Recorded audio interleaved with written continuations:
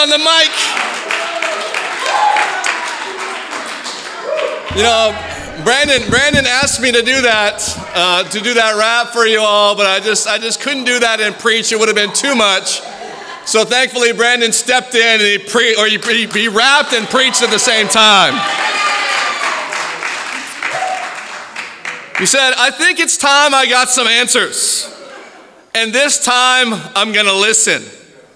Be prepared to answer some questions. Hope this causes no friction. I need this bond in my life, and you can say that it was missing. To continue on in this conversation, that's really up to your decision. Tell me all the things that I need to change. I don't want your answers to be bleak. I'm sitting at your table, Father. It's your turn to speak. Preach. You know, let's get into the Word of God this morning. Amen. Let's turn our Bibles to 1 Peter chapter 3. Thank you so much, Brandon, for that. I think if I would have done it, I would have for sure destroyed the church. There would have been nobody left.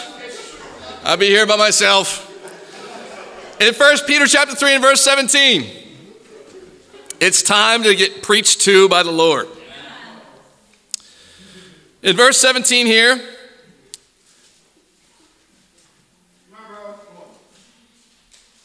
it says, For it is better, if it is God's will, to suffer for doing good than for doing evil. For Christ also suffered for sins, the righteous for the unrighteous, to bring you to God. He was put to death in the body, but being made alive in the spirit. After being made alive, he went and made proclamation to the imprisoned spirits, to those who were disobedient long ago when God waited patiently in the days of Noah while the ark was being built. In it, only a few people, eight in all, were saved through water. And this water symbolizes baptism that now saves you also, not the removal of dirt from the body, but the pledge of a clear conscience toward God. It saves you by the resurrection of Jesus Christ, who has gone into the heavens and is at God's right hand with angels, authorities, and powers in submission to Him. You know, here Peter is talking to a group of first century Christians, and he alludes to the Old Testament flood in the days of Noah. And he goes, Man, back then there was only eight people that were saved through the waters of the flood. You know, a lot of times when we, when we come into Christianity or when we read the Bible, we have all these different perspectives on how things are. And part of God and His Word, and that the purpose of His Word is to reorient our perspective so that we have God's perspective on life. And for a lot of us, we would, we would kind of look back on the flood and we would look back on how God destroyed the world, and, and we would see the waters as a tool that God uses in a destructive way to destroy. And yet, the perspective of the Bible is quite different. The Bible says that God didn't use water to destroy the world, but really, He used water to save eight people from an already destroyed world. You with me? And so here he goes. Just like it was back in Noah's time, so too in our New Testament times, God uses water in a symbolic way the, the flood water symbolizes baptism, he uses water to save us also from the corruption of this world. And, this is not, it's not a removal of dirt from the body. So it's not like when somebody gets baptized, they're just, you know, trying to scrub off all the sin underwater and, and, and when you come up out of the water, all the sin is left in the water. That, that's not what's happening at baptism. At Romans 6, the Bible says that we are buried in water. When we do that, we're dying with Christ. When we are raised back out of the water, we're resurrecting with Christ. And so we're literally participating in Jesus' death, burial, and resurrection. And, and I find it interesting that the point in time that the Bible says that we're saved is the single most controversial thing in all of Christianity baptism. And it would make sense, of course, because Satan doesn't want us to be clear minded, he wants us to be confused. And yet it's interesting right here because as God foreshadows baptism in the New Testament times through this Old Testament event, the flood, you, you got to kind of make that comparison and ask, well, after baptism, what are we supposed to do? You see, just like Noah survived the flood, that represents baptism. when we come up out of the waters of baptism, what now? And you have to, you have to kind of sympathize with that because wasn't it like that when you study the Bible? You study the Bible and you're going through it and you're changing and you're repenting and you're trying to become a disciple and then and then you finally reach the waters of baptism. You get baptized and you come out of the waters and you're so fired up because you've been forgiven and you finally made it. You became a disciple. But then there's the question, what do I do now? In fact, our first follow-up study with people after they get baptized is after baptism, now what? And so, since Peter is correlating these two events, we got to go back to the Old Testament and look at what happened with Noah right after the flood. Let's go to Genesis chapter 8. Genesis chapter 8. This is right after the flood. And in verse 13, I'm going to have to move this mic back a little bit. In verse 13, it says, By the first day of the first month of Noah's 601st year. Wow. So he's right up there with Tony, amen. 601. Wow. He's got a lot of experience to offer. It says, Noah's 601st year, the water had dried up from the earth. Noah then removed the covering from the ark and saw that the surface of the ground was dry. By the 27th day of the second month, the earth was completely dry. Then God said to Noah, Come out of the ark. You know, I think that God had to tell Noah to come out because I don't think Noah wanted to come out of that ark. He's like, man, I don't know what's going on out there, but I don't want to have anything to do with it. I'm just going to hide myself and shut myself up in this thing. And God goes, no, no, no, no, it's safe. Come out. He says, bring out, in verse 17, bring out every kind of living creature that is with you the birds, the animals, and all the creatures that move along the ground, so they can multiply on the earth and be fruitful and increase in number on it. So he goes, okay, Noah, I want you to come out of the ark. And you know all those, those animals that I put in the ark? He goes, Yes, I've lived with them for the last 40 days and 40 nights. He goes, Okay, now, now I want you to bring them out. And then once they come out, I want you to help them, so just kind of scatter them around so that they can go out and increase and multiply on the earth. These were the only living things left right there. And so he brings them out, and, and they go out and they start multiplying and being fruitful and increasing in number. And then we come to chapter 9, verse 1. It says, Then God blessed Noah and his sons, saying to them, be fruitful and increase in number and fill the earth. He goes, Not only do I want the animals to multiply and reproduce after their own kind and, and fill the earth, but as humans, I want you to go out and multiply, increase in number, and fill the whole earth. Verse 7. As for you, here he is again saying the same thing be fruitful and increase in number, multiply on the earth and increase upon it.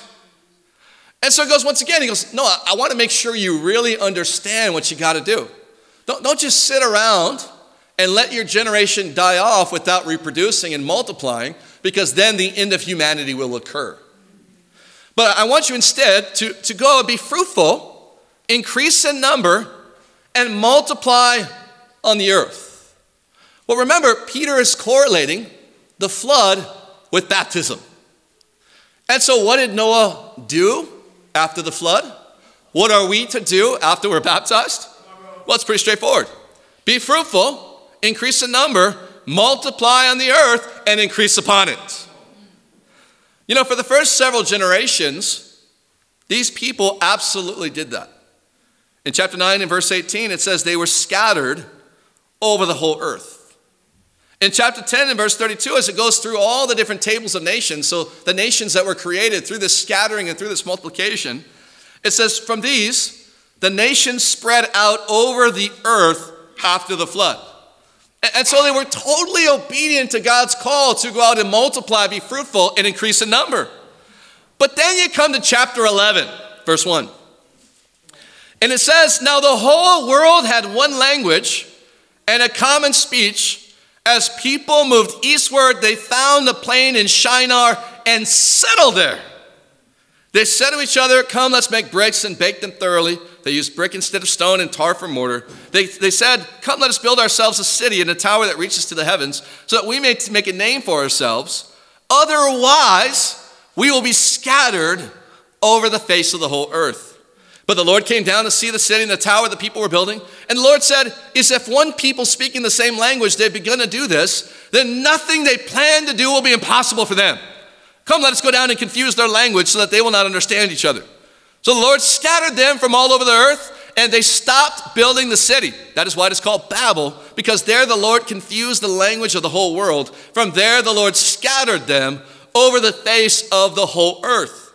And, and so, just in a few generations in, as Noah and his sons were scattering around the earth and, and being fruitful and multiplying and trying to fill the earth, we find that there's a group of people right here.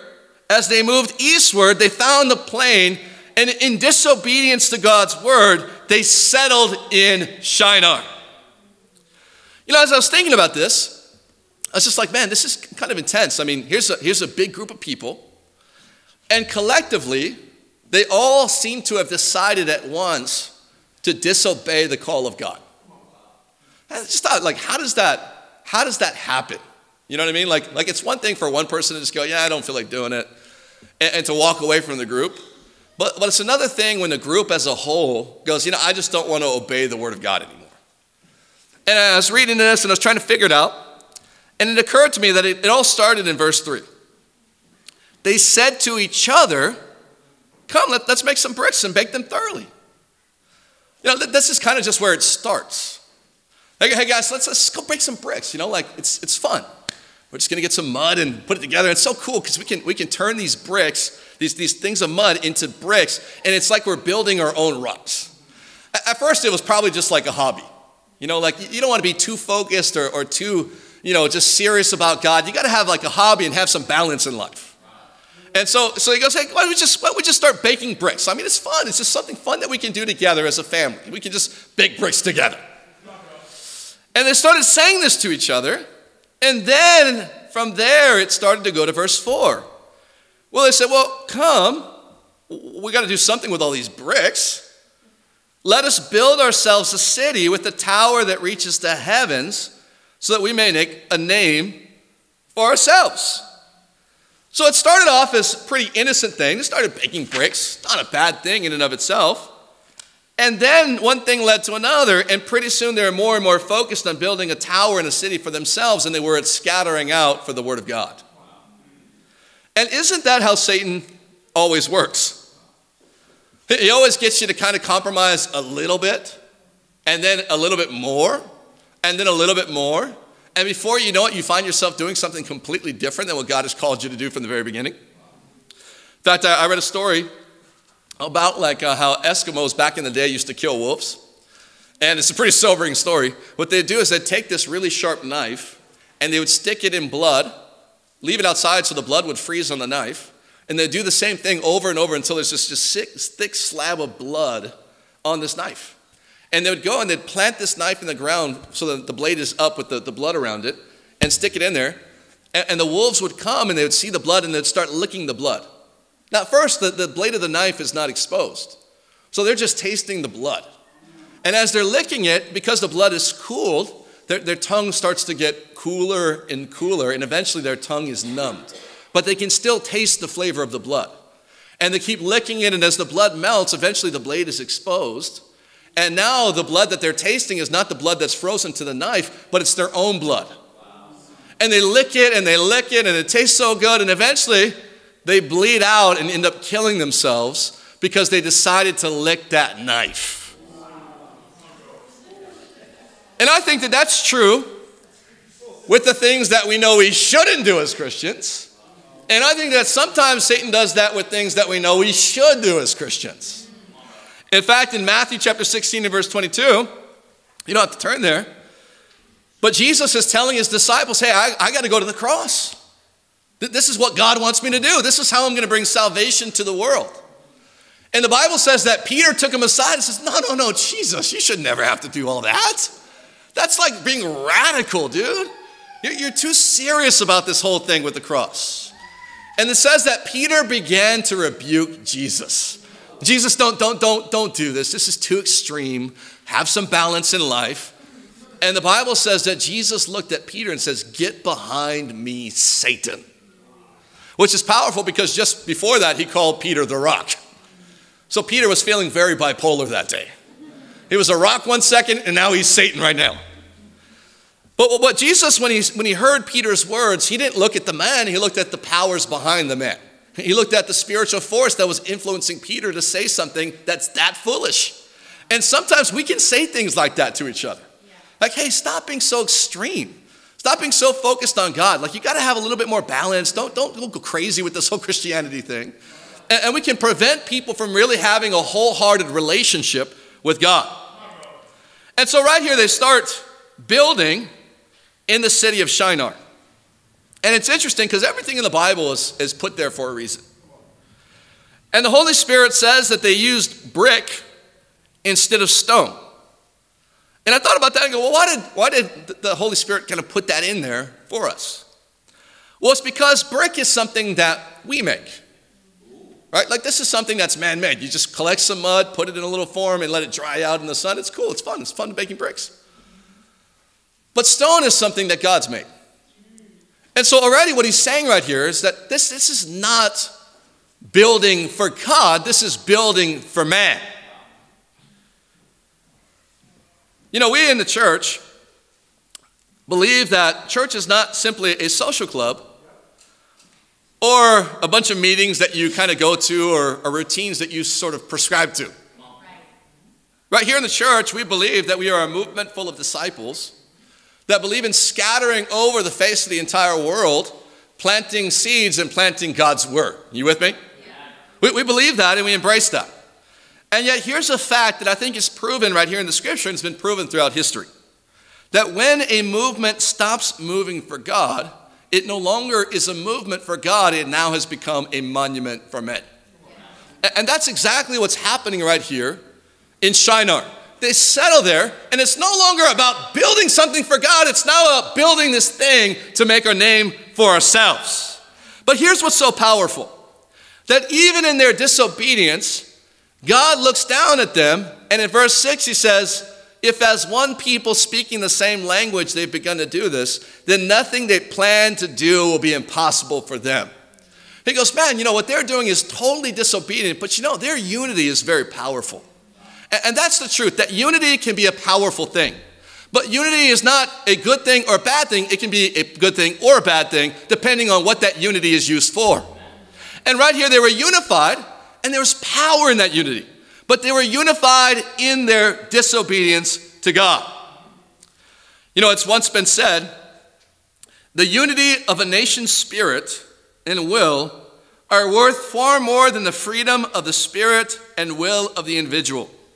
And that the higher interest involved in the life of the whole must here set the limits and lay down the duties of the interests of the individual. Yo, that's an incredible quote. Guess who wrote that? Adolf Hitler. You see, unity can be used for good, or unity could be used for bad. And right here, God looks at the unity of the people and he goes, Man, they're going to accomplish what they set out to do, but what, I, uh, what they're set out to do is not what I want them to do. You know, one of the things that I, I think is dangerous as a church is when we start to choose unity or relationship over obedience to the Word of God. And I believe that every culture has cultural sins.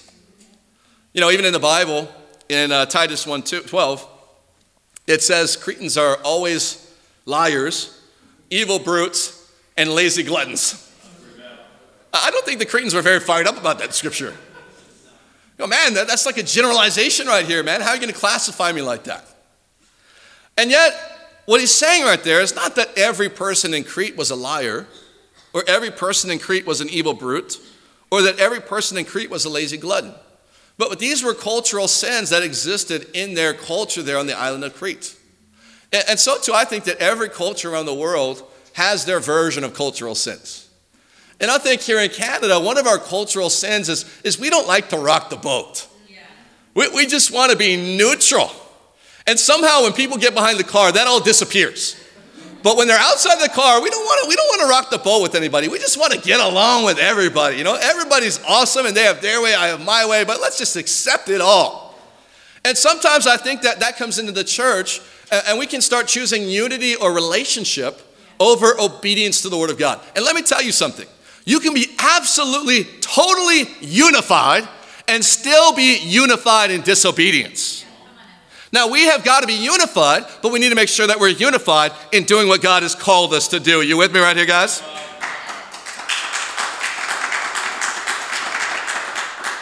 You know, I believe that one of the things that separates true biblical Christianity from most denominational churches around the world is simply found at the second part of Matthew 28 18 through 20. We know that in Jesus' Great Commission, he called us to go and make disciples of all nations. Your job's not done then. Then you got to baptize them. Right? And then your job is done. No. No. Then he says, and then teach them to obey everything I've commanded you.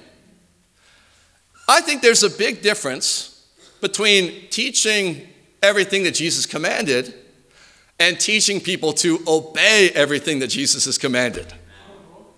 You see, a lot of groups out there teach what the Bible says. They read the scriptures and they read the Bible, and sometimes that's how people can feel. It's like, how could this be wrong? At least, I mean, we're studying the Bible every day, every week in church. But there's a difference again between teaching the scriptures and teaching people to obey the scriptures. And sometimes what stops us from teaching each other to obey the scriptures is that we don't want to lose the relationship. We don't want to stir or rock the boat. We don't want to stir up conflict in our relationships. And yet, that's exactly what the Bible requires if we're going to obey the Word of God. And so, right here, God looks at what's happening right here in Shinar. He goes, They're unified, they're going to accomplish everything. And so he decides to come down and he confuses their language. And so, really, this is the origin of different world languages. And through that, he scatters them and this place, Shinar, becomes known as Babel. Babel just simply means confused. So if you're confused this morning, you're Babel. And sometimes when people are confusing, they're babbling. Right? Well, what people don't realize is that, yes, Babel means confused, but Babel itself becomes known as Babylon. And Babylon throughout history becomes a symbol of worldliness, in contrast to God's kingdom, God's church. And time and time again, throughout history, people have settled in Shinar. They have settled in Babylon. And that's the title of our lesson this morning. They settled in Shinar. We know at this point in Genesis 11, historically, that the people who started to take over and to run Babylon, so to speak, were the Amorites. In 1595, we're going to go a little history lesson right here. In 1595, the Hittites rise up and they control Babylon. Now, this is pretty cool. The Hittites are mentioned over 50 times in the Bible, but they're not mentioned anywhere else in all secular history. And so, for many, many years, critics of the Bible slammed the Bible for bringing up these people, the Hittites, without there being any historical record or archaeological record of them ever having existed. And, and that was like that for a long, long time until 1906. In 1906, a guy, an archaeologist named Hugo Winckler, discovered the ruins of the Hittite people in Turkey. And yet, the Bible is the only book in history that records their existence. Is that pretty cranking or not?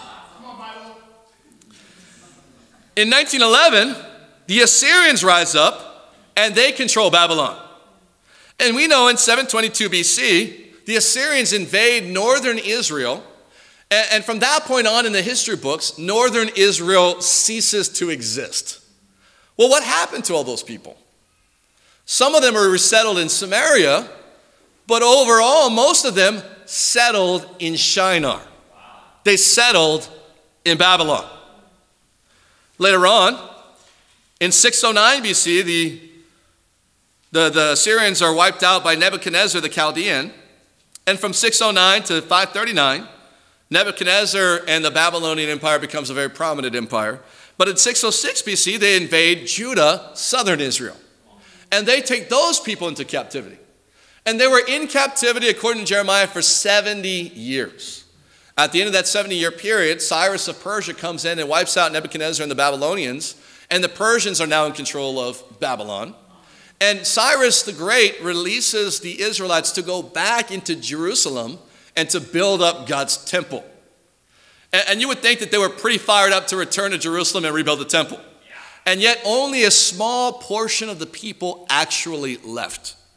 And we know that because books like Nehemiah records that Nehemiah was still in Babylon, and books like Esther record that they continued on in Babylon for some time. But although their people went back to build up God's kingdom, the, the temple of God, they settled in Shinar, they settled in Babylon. The Persians ruled for some time, and eventually the Greeks in 331 BC. And Babylon was so beautiful that even Alexander the Great stayed there once he conquered it. It's recorded in history that he died in Nebuchadnezzar's palace in 323 BC. And so over and over, people got to Babylon and they just stayed there in Babylon. Why? Well, Isaiah 13 19 records that Babylon was considered the jewel of kingdoms. Which is why Daniel, when referring to Nebuchadnezzar in Daniel 2, says, O King of Kings. Because Babylon was considered the most, the most awesome place on earth. It was so beautiful, rich in all kinds of resources. Even to this day, it's rich in resources because Babylon is located in Iraq, where there are tons of natural resources. You with me? And so the people got there and they settled there. Later on in 1 Peter 5:13, Peter refers to Rome as Babylon. Why? Because the Roman Empire had become worldly, and Babylon was a symbol for worldliness. And throughout the book of Revelation, over and over, God dictates his judgment on it for Rome persecuting the Christians, but he dictates his judgment on, quote, Babylon. You see, constantly throughout history and throughout the Bible, people settled in Shinar, they settled in Babylon, they settled for the world rather than the kingdom of God. You know, isn't it heartbreaking when you see a woman who's beautiful and talented settling for the wrong guy? Don't you hate that in, in, in society? You know, you, you, see, you see somebody that's beautiful and could do so well in their life and they, they settle for a guy who's just a derelict. I mean, that's what happened to my wife. And your heart just goes out like, man, she could do so much better. What is she thinking? And it just breaks your heart. Or when somebody graduates with a degree, a summa cum laude, valedictorian, whatever, from their college or high school or whatnot, and they end up working at McDonald's or some of you're like, man, they could do so much better with their life. And it breaks our hearts when people settle. And yet, so often, so, uh, so, so, so, so, frequently, people settle in Shinar. They settle for the world when God wants to do so much with their lives. The question I have for you this morning is Are you settling for the world? Are you settling for Shinar? I've just got two quick points this morning. Number one, if you're not gathering, you're scattering. Let's go to Luke chapter 11. Luke chapter 11. Some of us don't like history. You guys just tuned out with that whole section right there. Welcome back.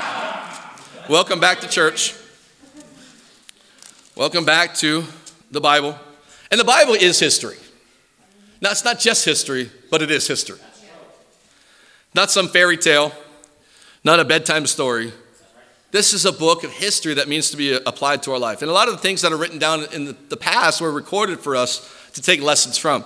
In Luke chapter 11, verse 14, the Bible says Jesus was driving out a demon that was mute. When the demon left the man who had been mute, spoke, and the crowd was amazed, but some, said, some of them said, By Beelzebul, the prince of demons, he is driving out demons. Others tested him by asking for a sign from heaven. Jesus knew their thoughts and said to them, Any kingdom divided against itself will be ruined, and a house divided against itself will fall. If Satan is divided against himself, how can his kingdom stand? I say this because you claim that I drive out demons by Beelzebul. Now, if I drive out demons by Beelzebul, by whom do your followers drive them out? So then, they will be your judges. But if I drive out demons by the finger of God, then the kingdom of God has come upon you. When a strong man, fully armed, guards his own house, his possessions are safe. But when someone stronger over, attacks and overpowers him, he takes away the armor in which the man trusted and divides up his plunder. Whoever is not with me is against me, and whoever does not gather with me scatters. You know, here we find that Jesus is just, you know, he's kind of going along and he sees this guy who's possessed by a, a spirit or a demon. And, and this particular demon was making this guy mute. He couldn't speak. And so Jesus cast the demon out of the man. And the Bible says when the demon left him, the man who was mute began to speak. And isn't that what happens when Satan leaves your life? When you're pure or impure, you're now pure. If you were an alcoholic, well, now you're sober. If you used to lie a lot, well, now you tell the truth. That's called repentance. You with me? And yet, if those things haven't left our lives, you got to ask, has Satan really left our lives? And right here, as Jesus cast this demon out of the guy, in verse 15, the people started to accuse Jesus of using the power of Satan to drive out Satan. And Jesus was like, That is the most ridiculous thing I have ever heard. Who would do that? I mean, even a worldly king wouldn't do that. I mean, can you imagine a worldly king going to war against another king? And yet, before he goes to fight the other king, he goes and kills half of his own guys? That's the stupidest battle strategy I've ever heard. And evidently, it was the stupid battle strategy that, that, that Jesus had ever heard. And he goes, Satan wouldn't do that. I know I wouldn't do that. Any kingdom divided against itself is going to fall. And that's true for God's kingdom, and that's also true for Satan's kingdom. And so, if I'm not driving out Satan with Satan's power, then whose power am I driving out Satan by? The power of God. And if this is the power of God, then you've got to understand that this is the kingdom of God, and you've got to repent because the kingdom of God has really come upon you. Bottom line is God's kingdom transforms lives. God's kingdom transforms lives. You, you can say whatever you want to say, that you can go to any old group of people and they might share some philosophies and things like that, and they might sound cool and they could be encouraging and this and that. But it really is the power of God to transform your life. Satan does not transform people's lives for the better. God transforms people's lives for the better. I'll never forget, there's this guy, when we were in Honolulu, his dad had become a disciple shortly there before. And his, son, the, the, the dad, his, as a disciple, he came up to us and he goes, Hey, my son's in really bad shape. And his son had been an alcoholic for a number of years. He had been addicted to cocaine and methamphetamine. His, he was married, but his wife wanted to leave him and they had a little daughter together. Had been through rehab several times, but, but just couldn't change, couldn't transform his life. And the dad comes up to us and he goes, Hey, can you, can you please pray for my son? His marriage is in really bad shape. She wants to leave him, and, and, and I don't know what's going to happen, but can you please just say a prayer for him? And so we said, Well, we, we could say a prayer for him, but wouldn't it be better, you think, for us to go and try to study the Bible with him? And, and so we went and he agreed, and, and we, we sat down with Dave. Dave was his name. And he studied the Bible one time. And after studying the Bible one time, cold turkey, he quits drinking. He quits doing drugs, all drugs. He repairs his marriage. And through that power, he ends up baptizing his own wife after he got baptized. He baptizes his two sons from another marriage. He baptizes his two sisters his two brothers, his mom, and he currently leads our sister church in Kona, Hawaii. That's not the kingdom of Satan. That's the kingdom of God. And when you see people's trans- or lives transform, you can't help but to go, wow, God is moving. God is doing something right here in this guy's life. I'll never forget when I studied the Bible, I had, I had seen my brother transform, which is what motivated me to study the Bible. You see, I had grown up religious, but I had gotten to the point where I didn't believe that anybody could actually live like a Christian. Because all my friends that I saw in church were doing the same bad things that I was doing outside of church. And so over time, I, I didn't doubt the Bible to be true.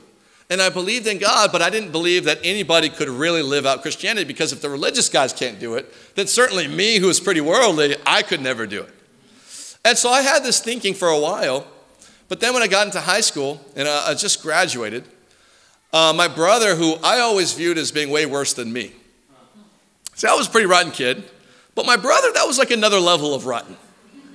That was like, you know, there's the rotten fruit, but then there's the fruit that's no longer even like remotely the same color anymore, that it's, it's turned black, and then there's the white mold that starts to grow on it, like that, that type of rotten.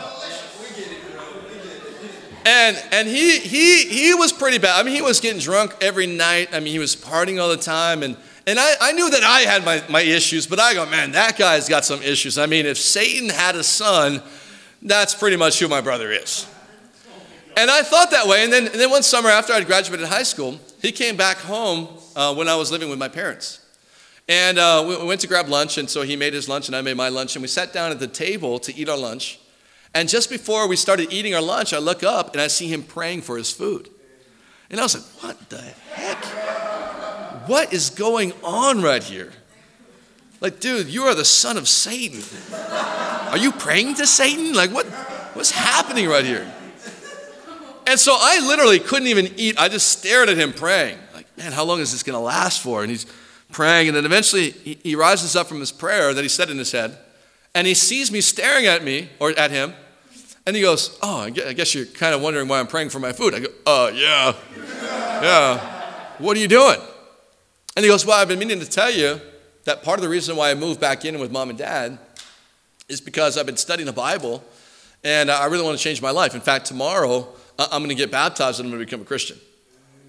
I go, no. What? What? You know, you get that look like, what? And he goes, Yeah, and I've been meaning to tell you, and I was going to invite you to come along. And I said, Do you want to come and see it? And I go, Absolutely. I gotta, I gotta see this. Like what? And I'm thinking, like, okay, this is some kind of scheme. Is there must be a girl at church that he likes, or there's there's some angle to this. Like, is he trying to rob the offering plate? Like, what what's happening right here? And, and, so I go to church, and, and, much like our experience when we first come to church, I'm getting hugged by everybody, and it's kind of throwing me off. Like, oh, it's like a little weird, man. Like, not used to guys hugging me. The preacher preaches, and at the end of it, I, I see my brother get baptized. And at this point, I'm like, whoa, he's really going for glory on this little charade right here. Like, what is he, what is he getting out of this? And for two weeks straight, I just watched him because I couldn't believe that his transformation was real. Because if his transformation was real, then it had to be God. And I couldn't believe that this was God.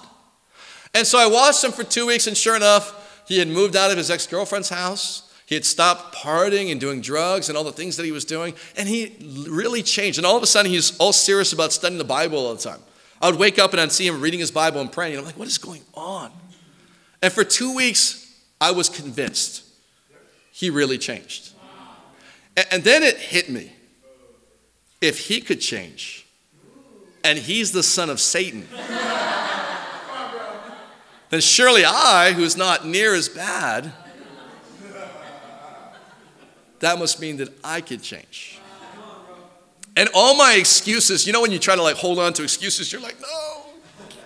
All my excuses started floating away. I'm like, no, no. And we're gone. And I, and I was forced to go, all right, I got to deal with this. And so we're riding along in the car together. And I, I had it on my, my heart to ask, I go, hey, Kyle, um, you know, you guys still doing those Bible studies that you did that changed you? He's like, yeah. Why do you want to know? I was like, well, no, I was thinking about doing some studies too. Do you guys think you could do some Bible studies with me? And he was trying to play it cool, so he goes, yeah, I think we could probably try to work something out for you. Well, I studied the Bible for two weeks and I transformed my life, and two weeks later, I became a disciple of Christ. Amen. Let me tell you, when you see transformed lives, you go, This is the kingdom of God. This is not Satan. Satan does not transform lives, Satan destroys lives. But, but then Jesus goes on to tell this parable right here. And he starts talking about this strong man and it says a strong man, you know, he, he really tries to guard his possessions, and it requires somebody stronger to go in and tie him up and to steal his possessions from him. You go, man, this is pretty like ghetto right here for Jesus. I mean, what Jesus is talking about, stealing stuff right here, like, man, he's a thug. And what he's talking about right here is that, that the strong man is Satan himself. Remember, the context is that Satan's demon was possessing someone. So he, the, the guy himself, the soul, was Satan's possession. And so he's talking about going and, and binding up Satan and stealing souls away from Satan. And he says right here that if you're going to steal souls away from Satan, you've got to first tie up the strong man and overpower him, and then you can take his plunder. Well, how do you tie up a strong man? You need a stronger guy. And here's the encouraging thing is Jesus is that stronger guy. And so when we go through God and when we use the word of God, that we together can get past Satan, bind him up, so to speak, and steal souls from Satan's kingdom. Is that cranking or not? And that's why in 2 Corinthians 10, verse 4, he says, The weapons we fight with are not the weapons of the world. On the contrary, they have divine power to demolish strongholds. We demolish arguments and every pretension that sets itself up against the knowledge of God, and we take captive every thought to make it obedience to Christ. You see, we use the Bible as our weapon that we can go in through the power of this scripture. This is not just some cool book that we like to read and carry around. We get our names engraved onto it. Look at my Bible. This is, this is an actual weapon that we get to use. That when we read the Bible, the Bible can transform people's lives. That it can bind Satan up and it allows us to, to get rid of all those crazy arguments that people make to make their thoughts and their lives obedient to Christ, and then to steal that possession, that soul, back away from Satan and put them into God's kingdom. Amen.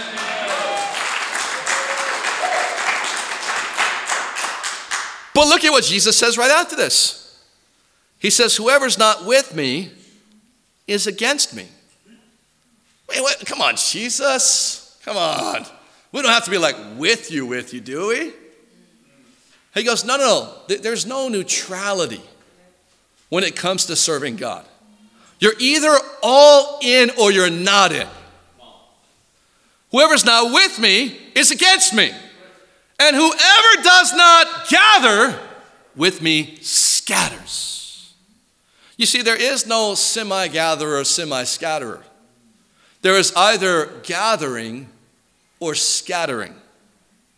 And again, we understand that Jesus is talking about saving souls. See, Christianity is not about sitting around and trying not to sin. Have any of us tried that? Yeah. I've tried that a number of times and I've failed miserably every time. You're not gonna, you're not gonna be successful as a disciple if your whole mission in life is not to sin. Like, oh, here we go. Okay, don't think of the pink elephant. Mm, I thought about it. That, that's, that's not going to work. He goes, if you're going to be a disciple, then you've got to be about gathering souls. Well, let's read on to verse 24. What happens when you don't? It says, when an impure spirit comes out of a person, and isn't that what happens when we become disciples? It goes through arid places. So it's not talking about the disciple, it's now talking about the spirit. So once Satan leaves a, a person, they become a disciple. It says the Spirit goes through arid places seeking rest and does not find it. Then it says, I will return to the house I left. So if you thought that you're going to become a Christian and Satan was going to disappear from your life, you thought wrong. See, this is what happens. You become a disciple, you get baptized, and you go, man, life's good now. And then all of a sudden, boom! like, whoa. Whoa, I just had a spiritual relapse. Man, I, I, I did the same thing I did before I was a Christian. What happened right there? That demon that left you came back and he found you not guarded already. Look at this, verse 25. When it arrives, it finds the house swept clean and put in order. And that is what a disciple looks like after they come out of the mess of being in the world. Right? You, you, you, repent, you change, you get your life together, you, you resolve all your relationships, you've repented of all your sin, you've, so to speak, swept out all that garbage in your life, and you've put everything in order, and now you got things pretty, pretty cranky. It looks like, as a disciple, you look like Vita's house. Like when you walk into Vita's house, things are well kept, swept, and put together. Vita's house is the perfect representation of a disciple. Now, if you want to look at what a worldly guy's house looks like, you just go to the brother's household. You with me?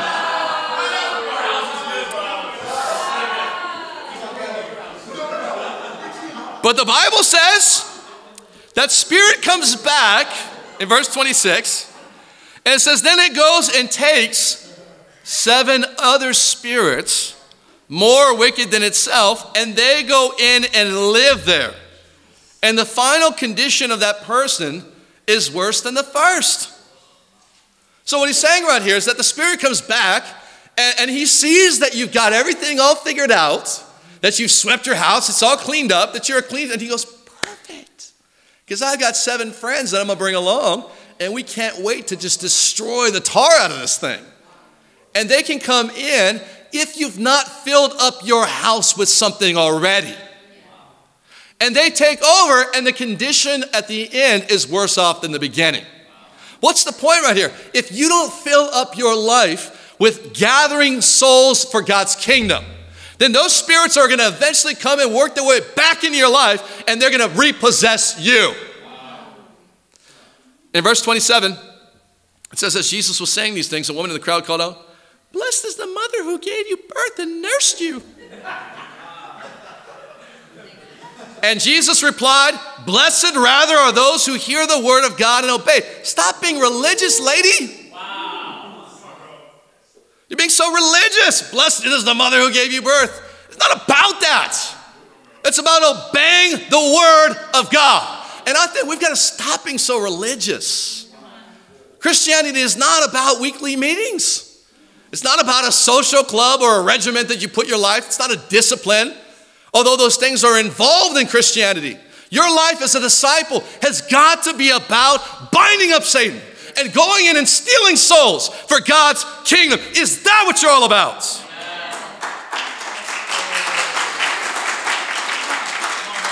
If you're not gathering, you're scattering. You know, one of my favorite movies is The Guardian. And it's uh, got Kevin Costner and Ashton Kutcher. And it's a movie about the United States Coast Guard, but, but an elite division in that Coast Guard where, where they are rescue divers that go through the Bering Sea, which is one of the most challenging and roughest seas on the planet. And they rescue these, you know, sea uh, crab fishermen and fish fishermen that, that just get stuck out in the, the, the waves and the storms. And, and so here this guy is, Kevin Costner's character, who's like a legend in this world, who's rescued like tons of different people. And it's become famous because in one guy that he rescued, he, he literally held onto his hand from a helicopter with his fingers the entire trip back home because he couldn't pull the guy up. So he's just holding on for dear life. And so he became a legend in his field. And then you got this younger guy, Ashton Kutcher's character, who comes in and he just thinks he knows everything. An amazing swimmer, but he's looking to break every record that Kevin Costner ever set. And so he comes in and they kind of just have a rough go at things. But there's this point in the movie where, where they kind of bond finally. And Kevin Costner can clearly see the potential of Ashton Kutcher's character but, but resents the fact that he's so arrogant and prideful about it. And, and, but they finally bond and they have this like sobering conversation with each other where Ashton, Ashton Kutcher or Jake Fisher, he goes, Hey, what's your real number? Like, how many people did you really save? What's your, what's your real number? And Ben Randall, Kevin Costner's character, he goes, 22. And Ashton Kutcher's just not impressed. 22. I thought it was going to be like thousands, 22. And so Ashton Kutcher goes, Well, 22, I mean, not bad. Not 200, but okay. And then Kevin Costner's character looks back and goes, No, no, no. 22 is not the amount I saved, those are the amount that I lost. You see, I don't keep track of the ones I saved, I only kept track of the ones I lost. You see, in, his, in the story, his life was so consumed by saving people that he couldn't even keep track. There were so many that he saved. And the only ones that stuck out to him were the ones he lost. Is that our heart for God's calling and God's mission? If you're not gathering, you're scattering. My second point if you're not standing up, you're bowing down. If you're not standing up, you're bowing down. You know, later on, as I said earlier, God's people became exiled in Babylon. And it's at this point that Nebuchadnezzar, as king, has a dream. And we'll turn to Daniel 2. In this, this dream, he's greatly disturbed. And so he gets all his advisors and wise men together and astrologers, and he goes, Okay, guys, I had a really crazy dream last night. I want you to tell me what this dream is all about. They go, Okay, great. Well, tell us the dream and we'll tell you what it means. He goes, No, no, no, no, no, no, no, no. If I tell you this dream, you guys are a bunch of liars, and you guys are going to try to trick me and tell me something that the dream doesn't actually mean. So here's the deal you're going to tell me what I dreamed, and then you're going to interpret it for me. And, and, just to give you a little nudge and some motivation, if you don't do that, I'm going to kill you, I'm going to kill your families, burn your houses down, and pretty much erase you from the face of the earth. So these guys are freaking out.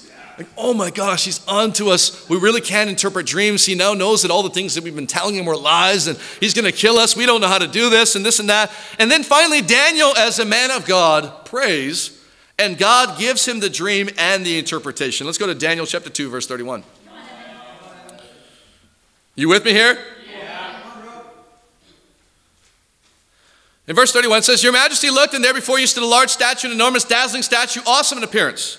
The head of the statue was made of pure gold, its chest and arms of silver, its belly and thighs of bronze, its legs of iron, its feet partly of iron and partly of baked clay. While you're watching, a rock was cut out, but not by human hands. It struck the statue on its feet of iron and clay and smashed them. Then the iron, the clay, the bronze, the silver, and the gold were all broken to pieces, and became like chaff on the threshing floor in the summer. The wind swept them away without leaving a trace, but the rock that struck the statue became a huge mountain and filled the whole earth. So he, he explains to Nebuchadnezzar that in this dream was a giant statue of which was made from different metals. Of course, we understand that he goes on after this to explain and break down that this statue was represented by represented different worldly kingdoms. And the head of the statue was Nebuchadnezzar himself, the Babylonian kingdom. And he tells us to Nebuchadnezzar right there in verse 36, he says, This was the dream, and now we interpret it to the king. Your majesty, you are the king of kings. The God of heaven has given you dominion and power, might and glory. In your hands he has placed all mankind and the beasts of the field and the birds of the air. Wherever they live, he has made you ruler over them all. You are that head of gold. And so in this prophecy, in this dream, we find different comparisons being made. Number one, the Bible refers to all these worldly kingdoms as an enormous, dazzling statue. And it refers to God's kingdom as a dinky little rock. And isn't that how it is? Some of us look at the Toronto International Christian Church and go, man, what a dinky little church. And yet we're enamored by the enormous, dazzling statue of the world. And so the Bible makes that comparison, but there's a second comparison that's not as obvious. In Colossians 1, the Bible says that the church is the body of Christ, of which Jesus is the head. Well, here we find the worldly kingdoms, the statue, and who's the head? Babylon, Nebuchadnezzar, the head, the worldly God. Well, let's see what Nebuchadnezzar does in chapter 3, verse 1. King Nebuchadnezzar made an image of gold 60 cubits high and 6 cubits wide and set it up on the plain of Dura in the province of Babylon. He then summoned the satraps, prefects, governors, advisors, treasurers, judges, magistrates, and all the other provincial officials to come and to the dedication of the image he had set up. So the satraps, prefects, governors, advisors, treasurers, judges, magistrates, all the people.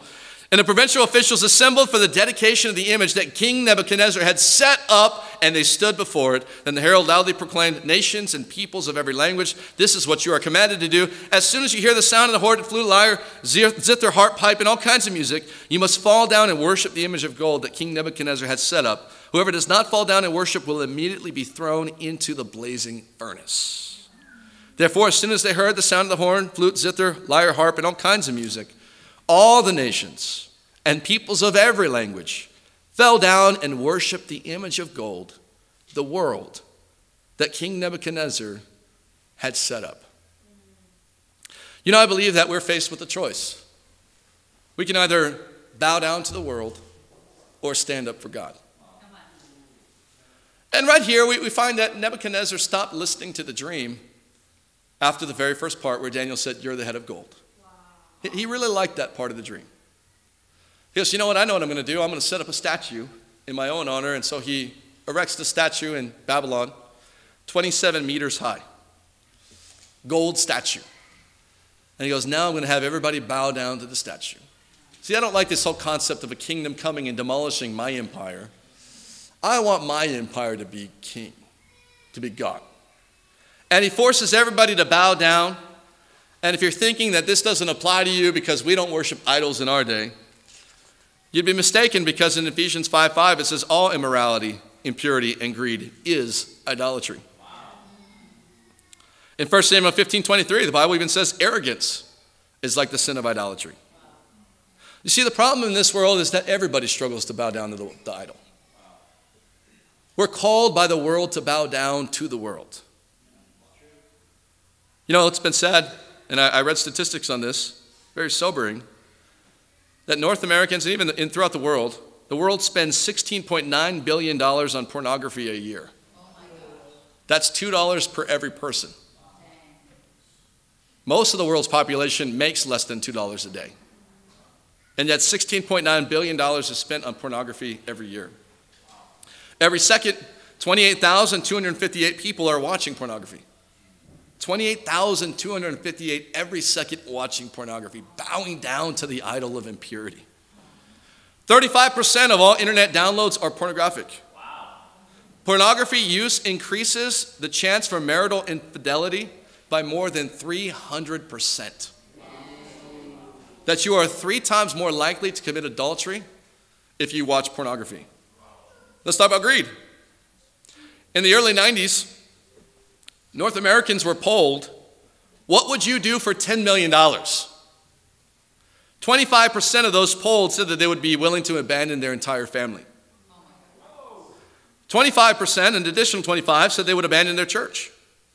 23% said that they would become prostitutes for a week or more. 16% said that they would give up their country's citizenship. 7% said that they would kill a total stranger. 16% said that they would leave their spouses but not their kids. And 3% said that they would leave their kids but not their spouses. And this isn't a surprise. This is what people are doing, driven by consumers and bowing down to the idols of greed. And if you don't stand up for God, then you too are bowing down to the world. And so we find this in chapter 3, verse 8.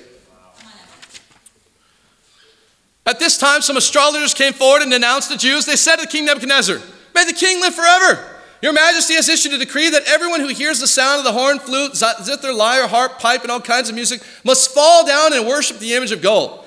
And that whatever does not, whoever does not fall down and worship will be thrown into a blazing furnace. But there are some Jews whom you have set over the affairs of the province of Babylon, Shadrach, Meshach, and Abednego, who pay no attention to you, your majesty. They neither serve your gods nor worship the image of gold you've set up. Furious with rage, Nebuchadnezzar summoned Shadrach, Meshach, and Abednego. So these men were brought before the king, and Nebuchadnezzar said to them, Is it true, Shadrach, Meshach, and Abednego, that you do not serve my gods or worship the image of gold I've set up? Now, when you hear the sound of the horn, flute, zither, lyre, harp, pipe, and all kinds of music, if you are ready to fall down and worship the image I made, very good. But if you do not worship it, you'll be thrown immediately into the blazing furnace. Then what God will be able to rescue you from my hand? Shadrach, Meshach, and Abednego replied to him, King Nebuchadnezzar, we don't need to defend ourselves before you in this matter. If we're thrown into the blazing furnace, the God we serve is able to deliver us from it and he will deliver us from your majesty's hand. But, but even if he does not, we want you to know, your majesty, that we will not serve your gods or worship the image of gold you have set up. Then Nebuchadnezzar was furious with Shadrach, Meshach, and Abednego, of course. And his attitude toward them changed. He hoarded the furnace heated seven times hotter than usual and commanded some of the strongest soldiers in the army to tie up Shadrach, Meshach, and Abednego and throw them into the blazing furnace. So these men, wearing their robes, trousers, turbans, and other clothes, were bound and thrown into the blazing furnace. The king's command was so urgent and the furnace so hot that the flames of the fire killed the soldiers who took up Shadrach, Meshach, and Abednego. And these three men, firmly tied, fell into the blazing furnace. Then King Nebuchadnezzar leaped to his feet in amazement and asked his advisors, Weren't there three men that we tied up and threw into the fire? They replied, Certainly, Your Majesty. He said, Look, I see four men walking around in the fire, unbound and unharmed, and the fourth looks like a son of the gods. Nebuchadnezzar then approached the opening of the blazing furnace and shouted, Shadrach, Meshach, and Abednego, servants of the Most High God, come out here Come here. So Shadrach, Meshach, and Abednego came out of the fire, and the satraps, prefects, governors, and royal advisors crowded around them. Why? Because you cannot deny the power of a transformed life. They saw that the fire had not harmed their bodies, nor their hairs on their heads singed. Their robes were not scorched, and there was no smell of fire on them. See, it's one thing to not have any wounds, it's another thing to, to not even smell like fire. Anybody who spent any time next to a fire knows, man, you start smelling like the fire. It's like Subway. When you walk in a Subway, you smell like Subway for like a week. You with me? You can't get rid of that smell. And yet there was zero fire on them. Then Nebuchadnezzar said, Praise be to the God of Shadrach, Meshach, and Abednego, who has sent his angel and rescued his servants that trusted in him and defied the king's command and were willing to give up their lives rather than serve or worship any God, including the world, except their own God. Therefore, I decree that the people of any nation, language who say anything against the God of Shadrach, Meshach, and Abednego be cut into pieces, and their houses, you have a habit of doing this, bro and their houses be turned into piles of rubble. For no other God can save in this way. I would say that no other God can save, period. Then the king promoted Shadrach, Meshach, and Abednego in the province of Babylon. Are you standing up or bowing down? Are you bowing down to the world or standing up for God? Let me tell you, God has all the money in the world. He's not impressed by money. He doesn't need our money. But every year, somehow, God allows us to go through the challenge of raising special missions contribution. And I believe that that's a test from God.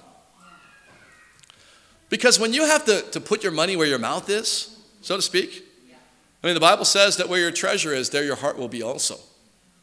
And unless you're willing to put your treasure into the kingdom of God, then you can't really say that your heart is in the kingdom of God. And if you're putting your treasure in the world instead of the kingdom of God, then your heart is now drifted away, and now you're worshiping and bowing down to King Nebuchadnezzar's statue and not bowing down and standing up for God. You know, I want to challenge us to live the way that Shadrach, Meshach, and Abednego lived, to not be afraid of what could happen. For no other God could save in this way. No other God could save, period. What are you bowing down to? Worldly desires, your school, your career, families, friends. You see, none of that's going to save you. Only God can save. And so if you're not gathering, you're scattering. If you're not standing up, you're bowing down. We'll close with my favorite speech in my favorite movie of all time. It's from the movie Braveheart. And in this movie, you have the Scottish fighting against the English because the English are trying to get the Scottish to bow down to them. They're trying to get them to just assimilate into their way of thinking and to just be ruled by the English and let the English do whatever they want. And so they're uh, brutally oppressing them and, and forcing them, even to the point where they're taking their wives and sleeping with them so that they don't have Scottish children, but they have English children. And so William Wallace's character, Mel Gibson, he rides up and he's not messing around anymore. He's ready to fight for his freedom. And they're lined up at war, and at this point in the movie, they're far outnumbered by the English. The English are outnumbering them like four to one. And all the people are looking at the forces of the English and they're going, man, we can't do it. And they're starting to want to walk away and give up. And then William Wallace's character rides in his face is all painted blue. He's just ready for battle. All his key guys, their faces are painted, painted blue. And he's, he's riding in, but he's a little bit confused as to why the warriors that should be fighting for freedom are starting to walk away from the battle. And so he rides around and he rides up front and he says these words. He says, Sons of Scotland, I am William Wallace. And then, like a peasant soldier guy goes, William Wallace is seven feet tall. And William Wallace says, Yes, I've heard. He kills men by the hundreds. And if you would hear, he would consume the English with fireballs from his eyes and bolts of lightning from his, you know what. he says, I am William Wallace, and I see a whole army of my countrymen here in defiance of tyranny. You have come to fight as free men, and free men you are. What would you do without freedom? Will you fight? And another peasant guy goes, Fight against that? No, we will run, but we will live. And William Wallace says, Aye, Fight and you may die. Run and you'll live, at least a while. And dying in your beds many years from now, would you be willing to trade all the days from this day to that for one chance, just one chance to come back here and tell our enemies that they may take our lives, but they will never take our freedom? And everybody goes, Oh, God, What is that? But they go out and they just destroy the English. And I think the same is true for us. We've got to decide is living a lifetime in Babylon and dying in our bed many years from now with a bunch of stuff that we've devoted our life to that's worth absolutely nothing, would you be willing to trade all that from today till then for one chance to change the world? For this is our chance. Thank you. God bless.